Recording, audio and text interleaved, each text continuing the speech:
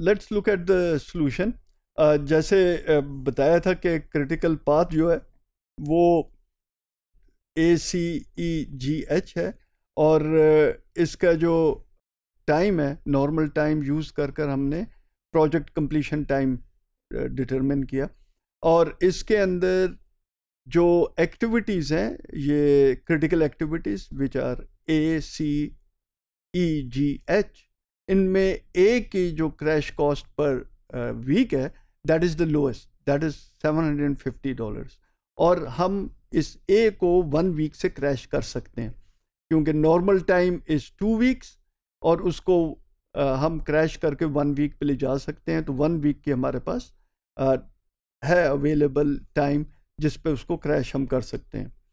तो इसमें हमने सबसे पहले और जैसे मैंने बताया था कि one week at a time हमने रिड्यूस करना है। हमने एक साथ दो वीक का टाइम रिड्यूस नहीं करना। तो वन वीक का करने के लिए हमने लेट से ए को सिलेक्ट किया और उसको एक वीक से रिड्यूस किया तो हमारा जो क्रिटिकल uh, पाथ का टाइम है A C E G H का वो 15 से 14 वीक्स हो गया। सो हमारा प्रोजेक्ट कंप्लीशन टाइम भी जो है वो 15 से 14 वीक्स हो गया। लेकिन इसके साथ क्या हुआ? इसके साथ हमारा एक और क्रिटिकल पाथ है that is B D G H वो बन गया। ये भी एक पाथ है जो कि 14 वीक्स इसका भी टाइम है। सो so, अब हमारे पास दो क्रिटिकल पाथ बन गए जबकि हमारा जो प्रोजेक्ट कंप्लीशन टाइम है वो 14 वीक्स का है। हमने इसको लेकर जाना है 13 वीक्स पर। तो अब क्या होगा कि 13 वीक्स पर ले जाने के लिए हमें एक वीक दोनों पार्ट्स में से एक एक वीक कम करना होगा। उसके बाद ही हमारा थर्टीन वीक के ऊपर हो सकता है। ये नहीं हो सकता कि हम ए सी ई जी एच का एक वीक से कम कर दें और बी डी जी एच को ना करें। तो वो still it will remain as fourteen weeks completion time तो हमें इन दोनों को कम करना पड़ेगा। आ, ये हमारे पास प्रेसिडेंस डायग्राम दिया हुआ है। तो पहले हमारा जो था दिस इज़ इनिशियल हमारा पाथ था critical path now we have a new one which is B D G and H अब इसके अंदर प्रोजेक्ट को क्रैश करने का अगर हम देखें तो बेसिकली हमारे जो पिंक कलर के अंदर एक्टिविटीज़ हैं, वो हमारी ओरिजिनल क्रिटिकल पाथ की एक्टिविटीज़ हैं और येलो वाली हमारी न्यू एक्टिविटीज़ क्रिटिकल पाथ की एक्टिविटीज़ हैं। और इसमें से दो जो एक्टिविटीज़ हैं that is G and H ये कॉमन है दोनों पाथ्स के। सो so, इसके अंदर अब हम क्या कर सकते हैं? हम ए को तो रिड्यूस नहीं कर सकते क्योंकि ए का अब हमारा नॉर्मल टाइम जो है क्रैश करने के बाद वो वन हो गया। और उसके अंदर अब टाइम अवेलेबल नहीं है। तो अब हम जो कर सकते हैं वो बी सी डी में से दो एक्टिविटीज़ एक पिंक वाली और एक येलो वाली हम रिड्यूस करें।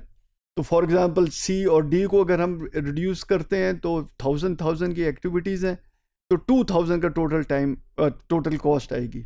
और हमारा जो टाइम है, वो रिड्यूस होकर थर्टीन वीक्स पर आ जाएगा। बट इसकी जगह हम जी को अगर रिड्यूस कर लें तो जी के अंदर क्योंकि ये कॉमन है दोनों पार्ट्स का तो इसके को रिड्यूस करने की वजह से दोनों पार्ट्स के टाइम जो है, वो थर्टीन वीक्स पर आ जाएगा और प्रोजेक्ट कंप्लीशन भी थर्टीन वीक्स के अंदर कंप्लीट हो जाएगा तो रिड्यूस हो जाएगा टाइम और कॉस्ट जो है वो फिफ्टीन हंड्रेड डॉलर्स आएगी. तो अगर हम इसको कंपेयर करें पहले ऑप्शन से कि उसके अंदर हमने सी और डी को रिड्यूस किया था तो वो टू थाउज़ेंड की कॉस्ट टोटल बन रही थी. यहाँ सिर्फ़ फिफ्टीन हंड्रेड डॉलर्स की कॉस्ट हमें पड़ रही है. तो बेसिकली हमने क्या करना है? फिर इसके अंदर कि फर्दर हमने क्योंकि क्रैश करना है और हमारे पास दो वो आ गए हैं क्रिटिकल पाथ तो दोनों में से एक एक एक्टिविटी करनी है। अब दोनों में से या तो हम, जैसे मैंने बताया कि सी और डी को कर लें, क्योंकि एक ओरिजिनल क्रिटिकल पाथ की एक्टिविटी है, दूसरी न्यू क्रिटिकल पाथ की एक्टिविटी है। या हम कोई एक्टिविटी ऐसी कर लें जो कि कॉमन एक्टिविटी है दोनों पाथ्स की, जैसे जी है। तो जी क्योंकि कॉमन है और उसका टाइम जो है वो सिर्फ़ फिफ्टीन हंड्रेड डॉलर्स है कंपेयर टू थाउज़ेंड थाउज़ेंड के इन दोनों का टाइम जो था, वो जो टू थाउज़ेंड टोटल बन रहा था तो उसके मुकाबले में फिफ्टीन हंड्रेड डॉलर्स का हमारा ये कॉस्ट पड़ रही है और इससे हमारा जो प्रोजेक्ट का टाइम है, वो कम्प्लीटली हमारा रिड्यूस हो गया और उसको विद इन थर्टीन वीक्स के अंदर हम ले आए हैं।